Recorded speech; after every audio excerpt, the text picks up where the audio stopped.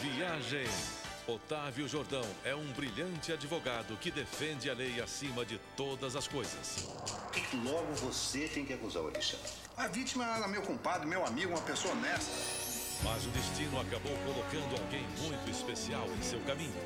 O meu irmão não é um marginal. Na minha opinião, é. Uma mulher forte e muito charmosa que vai mexer com a sua vida. Já te aconteceu alguma vez, filho, de você ser apresentado a alguém a sensação de que já conhecia essa pessoa?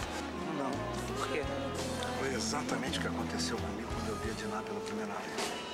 A Viagem de Ivani Ribeiro, um grande sucesso.